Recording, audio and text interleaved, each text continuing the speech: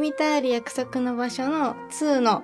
テーマソングのフルートを弾いてくれたと思うんですけど、弾いてみてどうでしたか？感想を教えてほしいです。はい、えー今日は「とわを生きる」という曲と「愛は悲しみに乗せて」の2曲をレコーディングさせていただいたんですけどそうですね。もうあのいただいてたピアノが本当に素晴らしくてどうしようかなとこうすごい緊張していて緊張しっぱなしだったんですけど楽しくレコーディングすることができました。はい、あなんかこう本当にあの柔らかいっていうか本当になんかなんですかねすごいあったかい優しいなんかすごい懐かしいねフルートを弾いてくれて本当ありがとうございました。もうなんか気持ちよく弾けたですか？そうですね。ありがとうございます。なんか忍笛みたいっていう風に言っていただいて、すごい、まあ、意識してるわけではないんですけど、嬉しいなと思います。日本の、まあ、日本人として演奏させていただいて、日本らしさが音に乗るっていうのは、ちょっと嬉しいところではあるので、そう言っていただけて嬉しいです。ありがとうございます。ありがとうございます。本当ね、なんか、こう、こういうなんか、あのー、ですかね、そういう、なんだろう、そういう、今ってやっぱ分離しちゃってたり、みんな喧嘩とか信じちゃってて、みんなこう、勝ち負けとか、なんか、こう、すごく尖ってる、ものが多くて、音楽でもアニメでもそういうものが多いじゃないですか。なんかなんか、こうそんな中であったかくこう包んでくれるような本当演奏で素敵だなーって本当思いました。ありがとう。なんかマースさんがこう昔のお家を思い出すっていうお話をしてくださってそれがすごい嬉しくてその話をぜひマースさんご本人にしていただきたいんですけど どこかでいつかしていただけたら嬉しいんですけど本当にその言葉がすごく嬉しく励みになって今日は一日レコーディングさせていただきました。何より可愛いしじみ先生も 素敵な先生じゃコメントをくださるので。先生じゃないです。はいそんな感じで楽しい一日でした。私のお父さんの、まマースってごめんなさいね。呼んでると思うんですけど。があの本当河合さんのそのフルートの演奏を聞いててなんかあの日本家屋っていうかそういうなんかあのフルートなのにこうあの西洋っぽくないなんかどっちかっていうと和風っていうかっていうとちょっと伝わりにくいかもしれないんですけどなんかこうおばあちゃんちのようなっていうかなんかこうまあ今回のアニメで出てくるあのたけるくんのお家って日本家屋なんですね。その日本家屋のにたけるがティナを連れてくるんですけどお家に2ではね。そのシーンにすごく使えるってすごく合うって言ったぐらい本当ねなんかその懐かしさなんかこう日本の良さっていうんですか？なんかこうそれがフルートなのにすごいあったかい感じが表現されてて和和風ではないんですよ。だけどなんかその何とも言えないいい良さがすごい出てて本当になんかね私のお父さんっていうかねマースもなんかすごい懐かしいってふるさとみたいだって言ってたんで本当そうだなって思ったんですけどまあそれはね本当に河合さんの心が そういうことっていうことだと思います。照れますね。言っててもはい。なんかこう前回の「君と会える約束の場所」の1話ですねの時はあの1万年前の、うん。あのエミナさんの役でね声をやってくれたと思うんですけど、まあ、今2ではねこのフルートでこうアニメの挿入歌としてなんか、まあ、ある意味ご出演 していただいてるわけなんですけどその気持ちというかその感想というかいかがですか心境は？そうですねまあ1から始まって2の作品まで携わらせていただけたことっていうのがまず一番はすごいありがたいなと思います。こう、まあ、声優声を取るということもありますけどマースさんのところでやったことのないことをたくさんさせていただくというか挑戦させていただけるっていうのはこう今の時代なかなかないことなのでそれが本当にありがたくてこう勉強にもなりますしこう自分の実力を測ることにもなりますし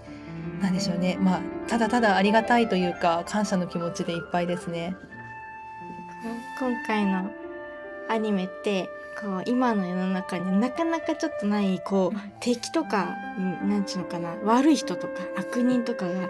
出てこないっていうのってやっぱ今の世の中少ないじゃないですかやっぱり。まあないとは言わないですけどねでもなんかやっぱりなんか悪い人とか怖い人とか出てきたりとかするわけじゃないですか。でもなんかそういうのが一切こう出てこずにただ愛だけで語られるアニメの音楽がの良さがもうとても引き出してたなって なんかうんそのなんかあったかさをとても引き出してたなって思ったんですけどこう河合さん的に今回のアニメとか前回のアニメとかどんな風に感じてるのかなってちょっと思います。そうですね。こういい悪いというかそういうふうにいいもの悪いものって分けてしまえばすごく話って簡単に進むと思うんですけどそうではなく一つのもの愛だけっていったものを伝えるってすごい難しいと思うんです。それをこうこんなに美しい形でこう世の中に伝えていくというか広げていくっていうのはすごいことだなと思いますね。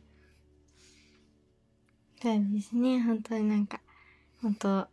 いつもこうね一生懸命練習してね演奏してくださったりして本当にありがとうございます。いえいえいえいえいえこちらこそ。いえいえはい。これからもねあの本当にこういう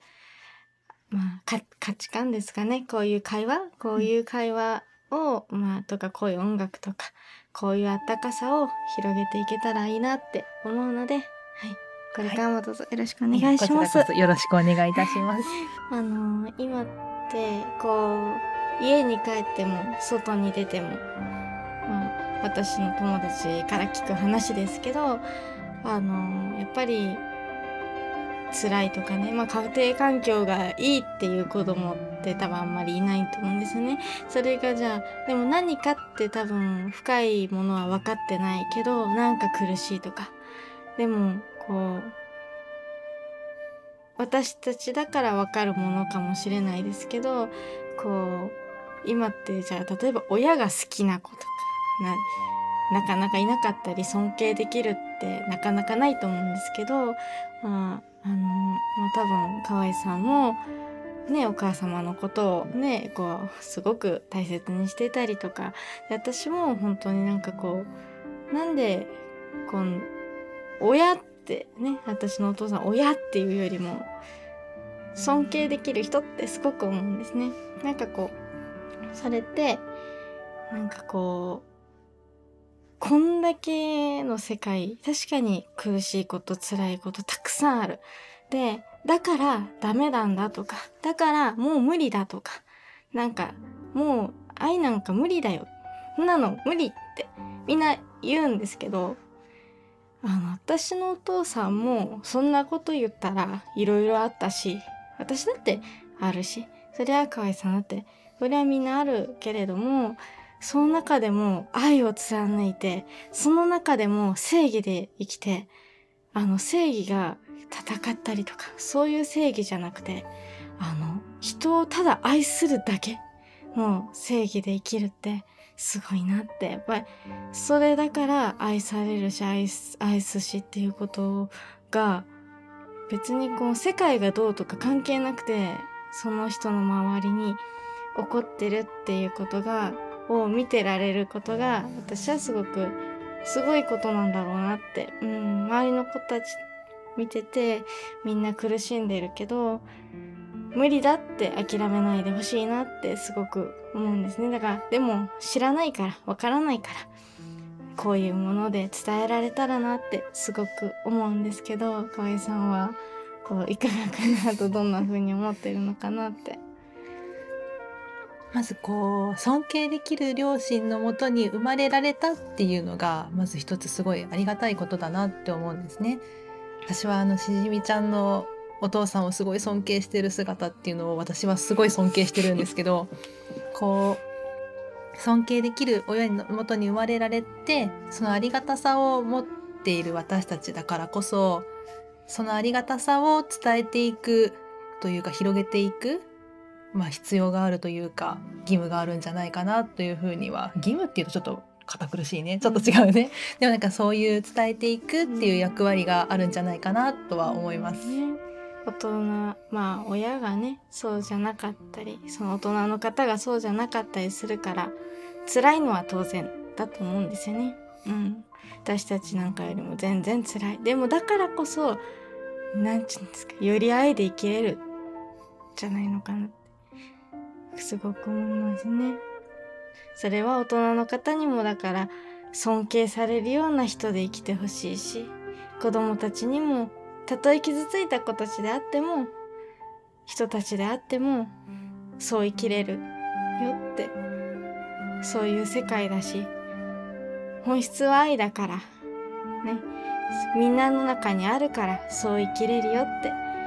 なんかことをアニメで音楽で伝えられたらねいいなって本当思うのでこれからもよろしくお願いします。こちらこそよろしくお願いします。皆さんもねよろしくお願いします。ありがとうございました。バイバイ。